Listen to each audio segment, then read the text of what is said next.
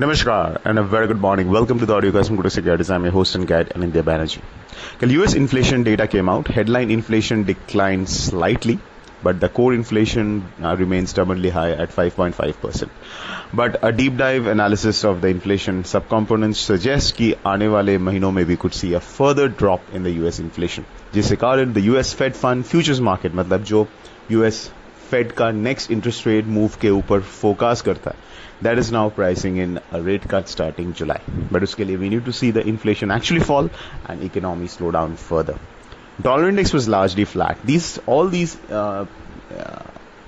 economic events are becoming और unable to create much volatility in the currency market at least especially अगर dollar index को देखे, ये hundred point seven के नीचे ब्रेक नहीं कर रहा है which has been the last 14 month low at the same time 100 to 50 के ऊपर भी ये सस्टेन कर नहीं पा रहा। तो 100.7 से 100 2.5 के बीच डॉलर इंडेक्स फंसा हुआ है।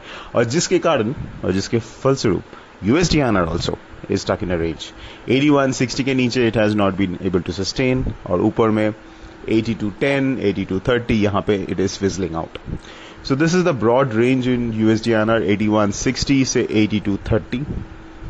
Now within which Sometimes the range becomes 81.60 to 82. Sometimes it becomes 81.80 say 82.30. So how to play USDNR? It's actually very difficult because option premiums are not rising at all. It's uh, staying stubbornly low, and why would they? Because the market, जो option sellers hai, they're not being short squeezed either on the up or on the down.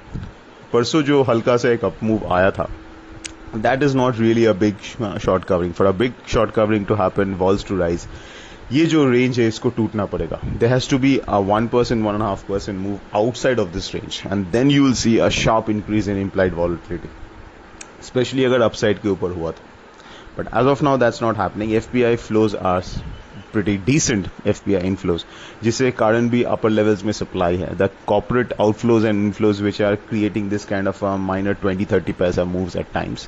But otherwise it's a range. So how to play? Uh, what you can do is do scalping trades. जैसे आज 81, 93, 94 के आसपास spot में open अभी 81, 80 is support and then 81, 60 so 81, 80 के आसपास you you can look to buy and 80 to 10 के आसपास you can look to sell इसके अलावा you can short an iron fly क्योंकि आयरन फ्लाई में हेज्ड है वो. सो so हेज में क्या है कि even if you get a temporary move up and a break of the range and it comes back by the time the expiry happens you can hold that trade otherwise अगर intraday करना है या overnight करना है तो उसके लिए short straddle short strangle है. But keep in mind that keep your stop losses uh, in the trade and ensure that their position sizes are small because your risk reward on the trades are not, are not that great. So short straddle, short uh, strangles can be done, but keeping these two things in mind. Cross currencies में euro INR may continue to be uh, in a corrective uh, downward corrective mode. GBP INR के लिए आज बहुत important day है because Bank of England monetary policy meeting है. शाम को they will be coming out with their fresh outlook on the economy and the the path forward for interest rates. Basically, that's going to have a big uh, bearing on the GBP dollar and through that GBP INR. This impact we'll get to see tomorrow. So GBP INR for intraday we don't have a trade because it's an eventful. There's an event risk in the evening. Uh, so that's it, folks. This is Anand Banerjee signing off. Have a fantastic day ahead.